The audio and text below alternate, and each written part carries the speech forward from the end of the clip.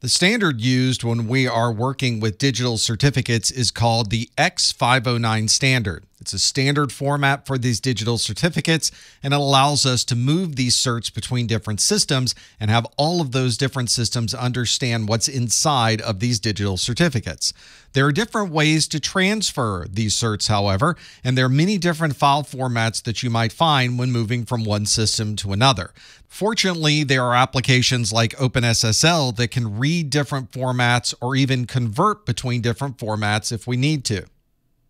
One of these formats is the DER format or Distinguished Encoding Rules format. This is a set of rules that allows us to encode many different kinds of data, but it's especially useful for these X509 certificates.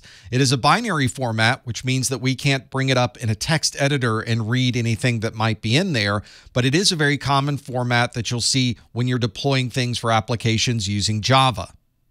One of the challenges with sending a binary file over email is that some email systems might modify the attachment.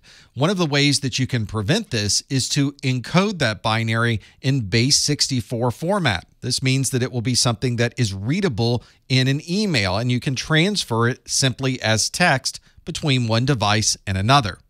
This means that you now have that DER formatted certificate in an ASCII form that you can easily send through email. If you're trying to transfer information from one place to another, this might be a very easy way to do that. This is supported across many different platforms, and it's a very standard way to send certificates from one machine to another. This is all letters and numbers, which makes it very easy to email, and it won't be modified by the email system. And it's something that you can look at and see exactly when the certificate begins, the certificate information, and you'll know exactly exactly where the end of the certificate might be. If you need to transfer multiple certificates at one time, you might want to use PKCS number 12. This is the Public Key Cryptography Standards number 12. This is a standard that was created by RSA Security, and it is now a standard that you'll find as an RFC.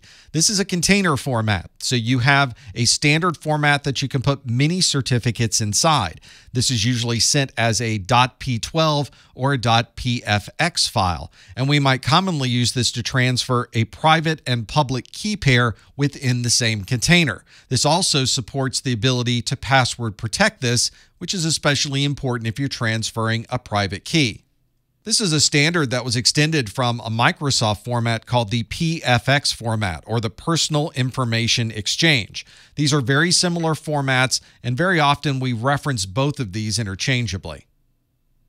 If you're managing certificates in the Windows operating system, you're probably using the CER format or the certificate format. This is primarily used in Windows, and it does provide flexibility for including binary DER format or the ASCII PEM format. This normally contains just the public key because we would probably want to send a private key in a more protected form, such as using a password with a PFX file.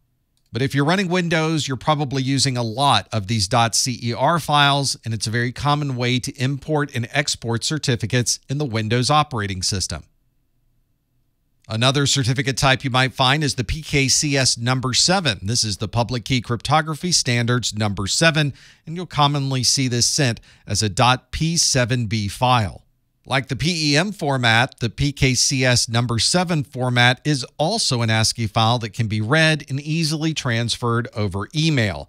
It's common to send certificates and chain certificates using this format, but we don't commonly use private keys in a .p7b file. This is a format that you'll find support for in Windows, in Java Tomcat, and many other operating systems and applications as well.